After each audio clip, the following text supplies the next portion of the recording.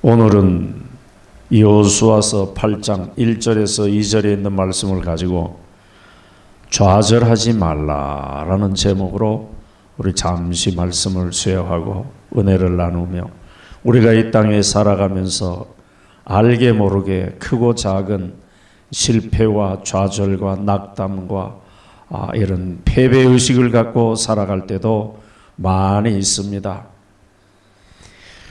사람들은 실패하거나 좌절하거나 패배한 저들을 떠납니다. 그래서 우리나라 속담에 이런 말이 있죠. 정승의 개가 죽으면은 문상객이 문전성시를 이루지만은 정작 정승이 죽으면은 문상객이 없다는 거예요. 그만큼 패배하고 좌절하고 낙담하고 실망하는 자들에게는 사람들이 찾아가지를 않는 거예요. 그러나 반대로 여호와께서는 좌절하고 실패하고 패배하고 낙담한 자들을 찾아오셔서 승리를 약속하시는 것을 보게 됩니다. 우리가 이 부흥 강사들이라든지 또 목회자들이라든지 이렇게 간증하러 다니시는 분들 간증을 들어보면은 참 인간적인 입장에서는 처절한 패배와 실패와 좌절과 정말 몇 번이라도 몇 번 자살을 시도했다라고 그렇게 하는 분들이 많잖아요. 인생은 그런 자들에게 찾아가지 않아요, 사람들은. 그러나 하나님은 그들은 자들에게 찾아가셔서 용기를 주시고 희망을 주시고 정말 성공을 약속하셔서 다시 일으켜 세워서 귀한 하나님의 일꾼으로 사용하시는 것을 우리가 보게 됩니다. 오늘 본문도 보면 여호수아는 패배를 모르는 사람이었어요. 출애굽에서 아말렉 전투에서도 모세와 아론과 후레의 힘을 입어서 최전선 전투에서 최초의 전투를 승리로 이끌어는 것을 보게 됩니다. 그 때문에 주변 국가들이 많이 두려워하죠. 아말렉 전투에서 승리한 것을 계기로 해서 이 가난 칠족들이 간담이 녹았다라고 이렇게 말씀하고 있습니다. 물론 가난 칠족이 그 사건 하나로 간담이 녹은 것은 아니지만은 이스라엘의 모든 행적이 항상 승리를 주신 것을 보게 됩니다. 그리고 요단강 건너기 전에도 전투에서 큰 대성을 이루고 많은 전리품을 취득하고 가나안 땅에 입성하는 것을 보게 됩니다. 그 전에 전리품을 그렇게 많이 짐승들을 취했으면은 광야에서 먹이기가 상당히 힘들었을 텐데 가나안 땅 입성 얼마 안 들고 취했기 때문에 그 하나님의 놀라운 은혜와 섭리가 거기 있는 것을 보게 됩니다. 그리고 요단강도 너무나도 쉽게 건넜죠.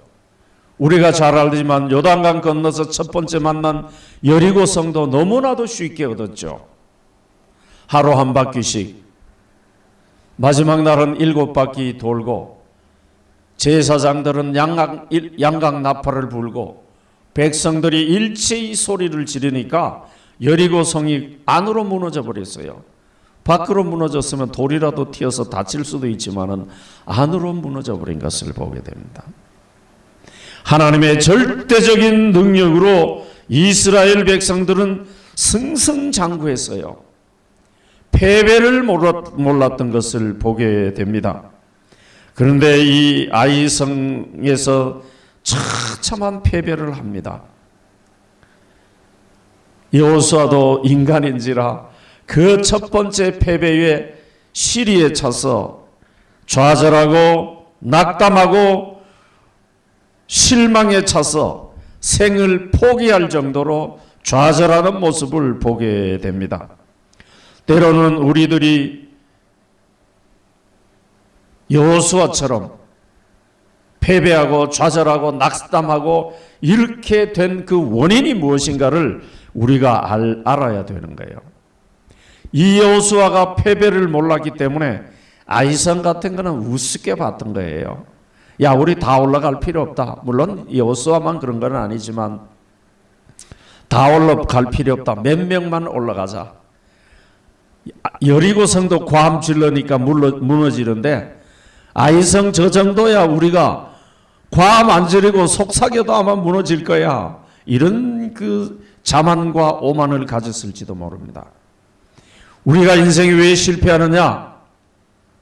하나님의 주시는 은혜를 잊어버리고 하나님이 승리케 하시고 복을 주시는 것을 잊어버리고 교만해질 때에 우리는 처참한 쓰라린 패배를 경험하게 됩니다.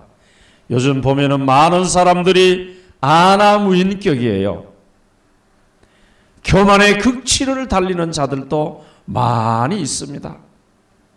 그들은 자들도 언젠가는 패배를 맛보게 되는 그런 날이 반드시 오게 됩니다. 그 우리는 교만하지 말고 겸손히 하나님께 무릎 꿇고 하나님의 말씀에 순종하고 하나님의 말씀에 따라 살아가는 자들에게는 하나님께서는 언제나 승리케 하시는 것을 보게 됩니다. 여호수아와 이스라엘 백성들의 자만이 엄청난 고난과 역경을 좌절을 겪게 합니다. 이스라엘 백 가나안 땅 백성들만 간담이 녹은 게 아니에요. 이스라엘 백성들에도 7장에서 5절에서 7절에 보면은 이런 기록이 있죠. 아이 사람들이 그들을 36인쯤 죽이고 성문 앞으로 스바렘까지 쫓아와서 내려가는 비탈길에서 쳤으므로 백성이 마음이 녹아 물같이 되었다라고 이렇게 말씀하고 있습니다. 여호수아가 가로되 슬프도 소이다. 주여 여호와여 어찌하여 이 백성을 인도하여 요단을 건너게 하시고 우리를 아모리 사람 손에 붙여 멸망시키려 하시나이까 우리가 요단 저편을 족하게 여겨 가였다면 좋을 뻔하였다. 이스라엘 백성도 역시 패배하면은 간담이 녹는 거예요. 앞길이 보이지 않는 거예요. 왜 실패했느냐 이, 이 원인조차도 우리가 모를 때가 있는 것을 보게 됩니다. 신앙인들도 보면은 말씀에 말씀을 떠나 여호와 하나님을 떠나 자기 힘으로 능력으로 승승장구하는 것으로 착각할 때에 처참한 패배가 앞에 겸손히 무릎 꿇고 인사하면서 기다리는 것을 보게 됩니다. 제가 말씀드렸지만 왜 실패했느냐? 온통 자만과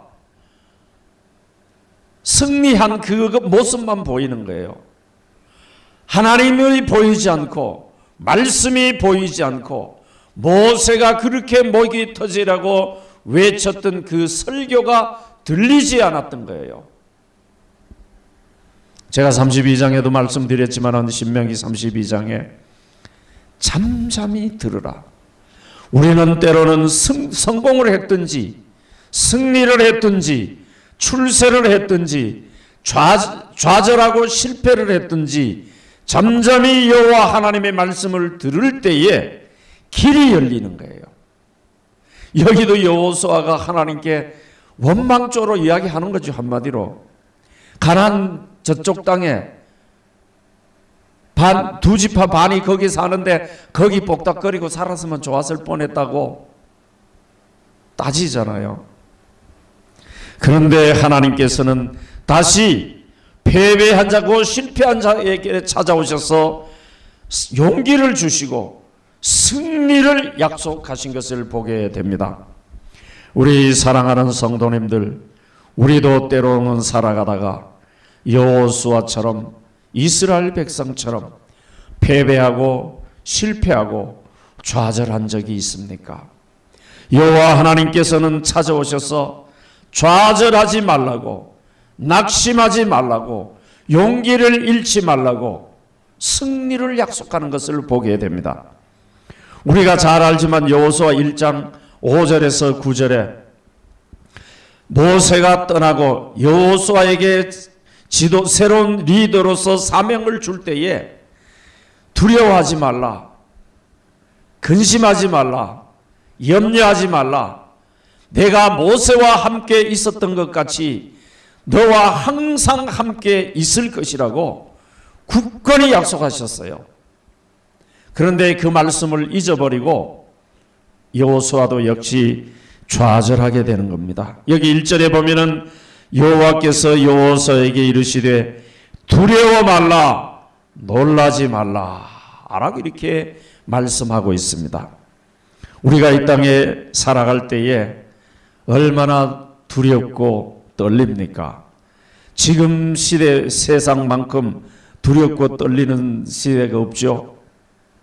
우리는 나가면은 마스크를 끼고 사람 만나는 게 두렵고 사람 만나고 식사 같이 하고 대화하고 이게 즐거워야 되는데 사람 만나는 게 두려운 거예요.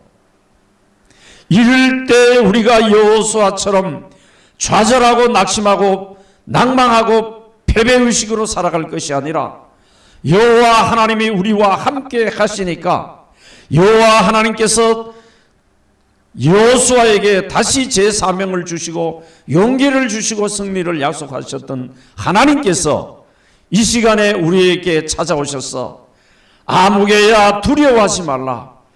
아무개야 놀라지 말라. 아무개야 염려하지 말라. 내가 반드시 너를 지키시고 보호하시고 인도하시고 모세를 호위하시고 보호하시고 눈동자같이 지켜주셨던 하나님께서 여호수아를 지켜주셨던 하나님께서 이스라엘 백성을 지켜주셨던 하나님께서 저와 여러분들을 굳건히 지켜주시고 승리케 하실 줄 믿습니다. 우리는 좌절하지 맙시다. 낙심하지 맙시다.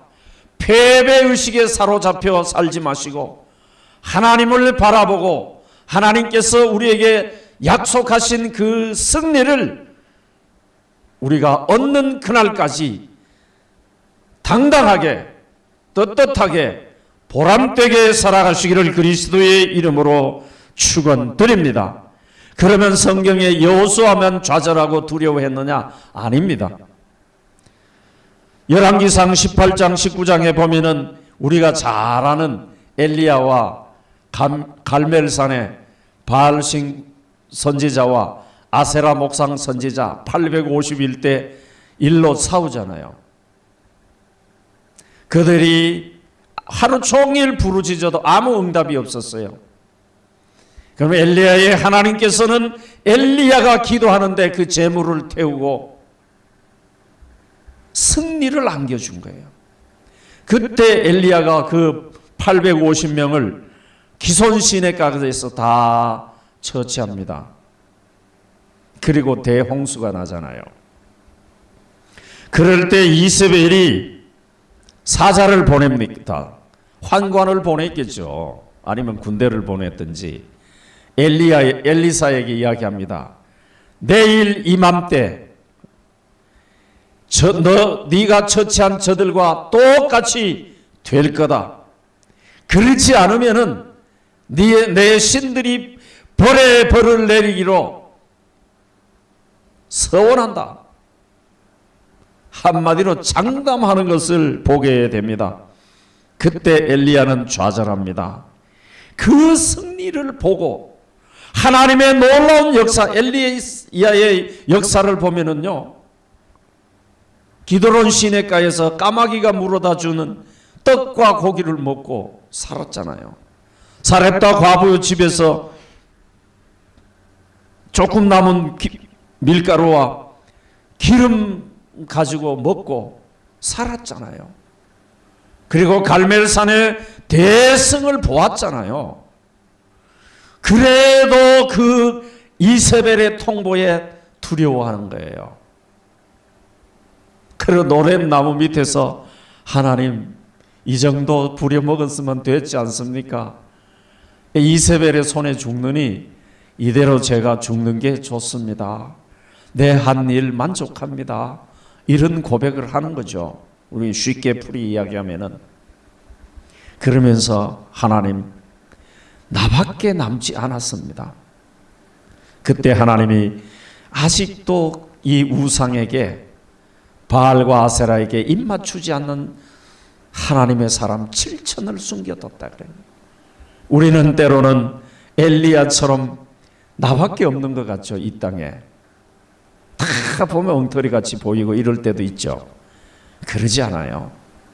어떤 의미에서 보면은 현, 현 세계의 시국, 특히 한국의 시국을 보면은 정말 이대로 이 교회가 무너지는가? 우리도 엘리야, 우리 한국 교회도 엘리야가 갈멜산에서 승리했던 그 승리를 우리 한국 교회가 누렸잖아요. 맛보았잖아요. 그런데 조그만 시련과 역경에 좌절하고 정말 안절부절하고 있는 사람들이 너무나도 많습니다. 그때 하나님께서 조용히 찾아오세요. 폭풍 가운데 번개나 이런 그런 가운데 하나님이 음성이 들리는 것이 아니고 그것이 다 지나갔을 때에 미세한 음성으로 하나님의 음성이 들리고 엘, 엘리야에게 제 사명을 부여합니다. 좌절하고 낙담하고 있는데 떡과 물을 가져다가 먹입니다. 다시 용기를 줍니다. 우리 사랑하는 성도님들, 우리가 이 땅에 살아갈 때에 승리도 맛보고 성공도 맛보고 때로는 좌절하고 실파, 실망하고 실패하고 낙담하고 어떤 길이 보이지 않을 때도 있습니다. 그럴 때 하나님이 찾아오셔서 여러분들을 어루만지시고 여러분들에게 용기를 주시고 희망을 주시고 꿈, 꿈을 주시며 비전을 주신 하나님께 매어 달릴 때에 하나님께서 승리의 길을 활짝 열어 주실 줄 믿습니다. 여호수아의 승리가 우리의 승리가 될 수 있도록 기도하시고 엘리야의 승리가 우리의 승리가 될 수 있도록 기도하는 귀한 새벽이 되시기를 그리스도의 이름으로 축원드립니다. 기도드리겠습니다. 사랑의 아버지 하나님 감사와 찬송을 드립니다. 여수와 같은 대지도자도 엘리야 같은 대선지자도 한 번 실패에 좌절하고 한 번 경고에 두려워하는 것을 보게 됩니다. 우리도 이 땅에 살아가면서 때로는 실패와 좌절 속에서 헤어나지 못할 때도 있습니다. 그렇지만 하나님께서는 조용히 찾아오셔서 우리에게 말씀을 주시고 기도를 하게 하신 하나님, 성령이 찾아오셔서 용기를 주신 하나님, 우리에게 희망과 꿈과 승리를 허락해 주실 줄 믿고 감사하며 이 모든 말씀 예수 그리스도의 이름으로 기도드리옵나이다. 아멘.